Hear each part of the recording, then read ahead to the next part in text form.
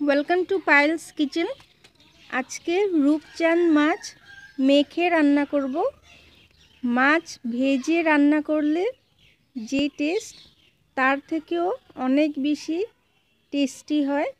যদি এইভাবে মাছ মেখে রান্না করা হয়, কীভাবে আমি রূপচাঁদ মাছ মেখে রান্না করি, দেখিয়ে দিচ্ছি চট করে রেসিপিটা গরম ভাতের সাথে অসাধারণ লাগে এই রূপচাঁদ মাছের রেসিপি এখানে তিনটা পেঁয়াজ কুচি আছে, হাফ বোল মতো কাঁচা লঙ্কা আছে।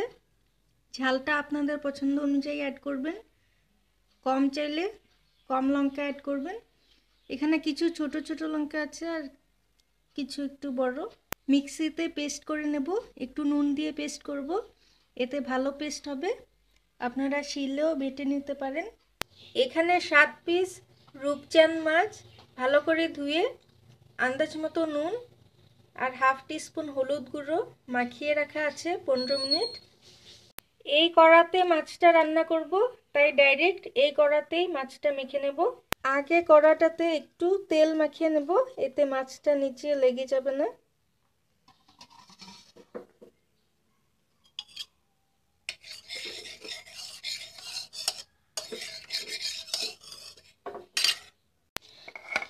মাছের পিসগুলো অ্যাড করে দিচ্ছি কড়াতে। পেঁয়াজ, কাঁচা লঙ্কা পেস্টটা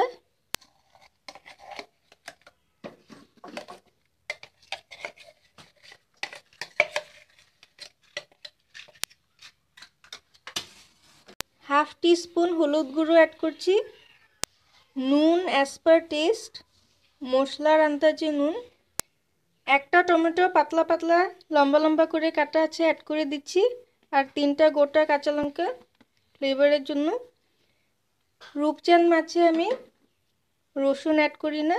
আপনারা চাইলে রসুন বাটা অ্যাড করতে পারেন।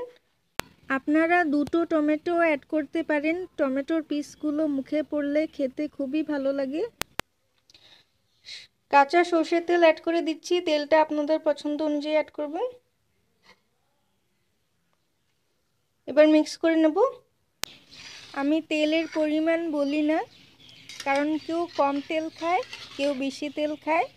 আরেকটা কথা, যেহেতু পেঁয়াজের পরিমাণটা বেশি, তাই আমরা যদি দুটো তিনটি লঙ্কা অ্যাড করি, কম করে কাঁচা লঙ্কা অ্যাড করি, গ্রেভিটা খেতে মিষ্টি মিষ্টি লাগবে, একদম ভালো লাগবে না। তবে ঝালটা আপনাদের পছন্দ অনুযায়ী অ্যাড করবেন, কম চাইলে কম, কোনো ব্যাপার না। আপনারা হাত দিয়ে মেখে নিতে পারেন। এবার আধ ঘণ্টা ম্যারিনেট করে রাখব। এতে টেস্টটা অনেক বেড়ে যাবে মাছের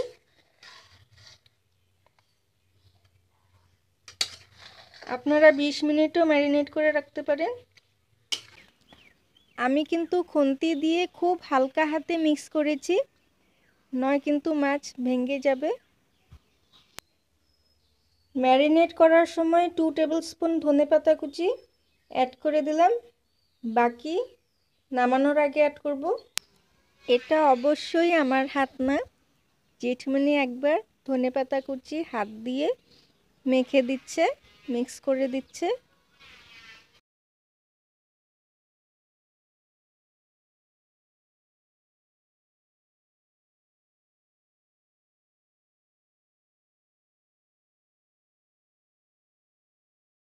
গ্যাস অন করে দিয়েছি। একটা বয়েল আসতে দেব মিডিয়াম হিটে। একটু একটু বয়েল এসে গেছে দেখতে পাচ্ছেন। এবার হিটটা লো করে ঢেকে কুক করব। যতক্ষণ না মাছ কুক হচ্ছে, পেঁয়াজ থেকেও জল বেরোবে, টমেটোর থেকেও জল বেরোবে এক্সট্রা জল অ্যাড করার কোনো প্রয়োজন নেই। মাঝে মাঝে ঢাকা তুলে হালকা হাতে একটু নেড়ে দিতে হবে। জোরে জোরে নাড়লে মাছ ভেঙে যাবে। পাঁচ মিনিট পর একবার ঢাকাটা তুলে কড়াটা দুদিকে ধরে আস্তে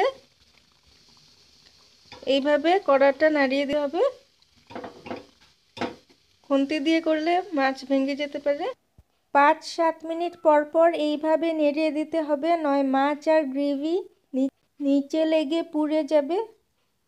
আবার ঢাকা দিয়ে দেবো। সতেরো মিনিট মতো কুক করেছি, ঢেকে আর পাঁচ মিনিট পর পরই এইভাবে নাড়িয়ে দিয়েছিলাম। খুন্তি ইউজ করিনি, মাছ ভেঙে যায়। খুন্তি ইউজ করলে, কারণ এটা ভাজা মাছ না, মেখে রান্না করা মাছ।